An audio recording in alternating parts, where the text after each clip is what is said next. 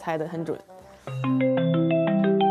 喂，你好，啊，雪晴是你们吗？是我们呀，请讲。是这样的，就是我，我前两天把我最好的两个朋友拉黑了，但是呢，我就，就是我觉得是是冲动使然，然后我就想跟他们和好，然后我不知道该怎么办。你为什么把他们拉黑呢？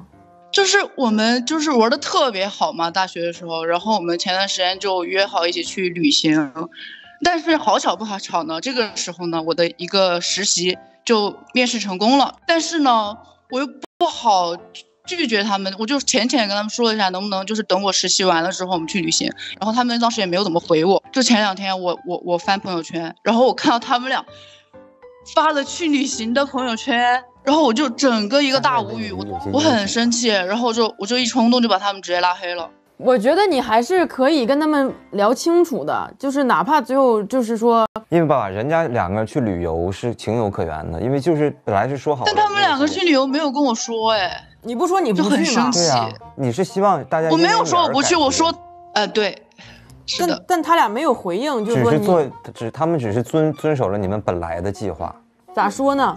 那我也能理解你，就是我说能不能六月份再去，他俩就无视你的这个请求了，对吧？对啊，他也没有回应。然后他们俩出去玩也没有问你去不去，对吧？是的。然后我就直接在朋友圈知道这件事情了，就很生气，整个其实挺伤心的，因为我找到工作，我试图跟你们两个协调，说能不能改到六月，然后结果俩俩没理我，直接自己就去了，完全没理吗？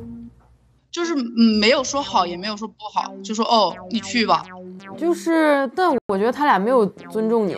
那可能人家那边还在想说，我们早都定好这个事儿了，你今天忽然这样，你这就涉及一点不拿我们的友情放在第一位。那这就涉及到我们今天讨论的是友情比较重要，还是工作比较重要？嗯，这不是存在一个这个问题吗？是，就是我现在确实有点拉不下。实习工作，我也不能说我去旅游。是啊，那就接受不去旅游这件事吧。但是，那如果他如果他俩说，那我俩先去了，你能接受吗？能接受啊，他们告诉我一声，我觉得我能接受啊。但是他们没有得到回应，俩人就去了。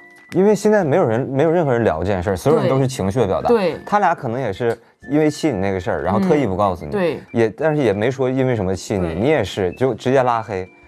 嗯，所以现在就是不知道怎么抛出这个小橄榄枝，你就把他俩加回来呗，加回来完了就是再拉个在你们群里说要不要聊一聊。如果他俩说不聊了，那就你也做努力了呀，咱也没有说我直接放弃了，因为现在是所有人都在比我比你更狠心啊，就是我们现在定好，但是其实他们俩加了我，加了，那你不同意人家没呀？他回了一个，他加我的那个验证打了一个问号。妹妹，我现在有一个问题，就是我们的目标是挽回这段友谊，还是说咱们就是一起骂他俩出出气？呃，挽回吧，挽回对吧？挽回，那咱就先别管他们做啥了，咱能做的就是把他俩加回来，然后跟他们详细聊一聊，到底为什么这样，然后再决定，就说我们要不要继续做朋友或怎么样。既然我们的目标是挽回，就先无视掉他们这个问号吧。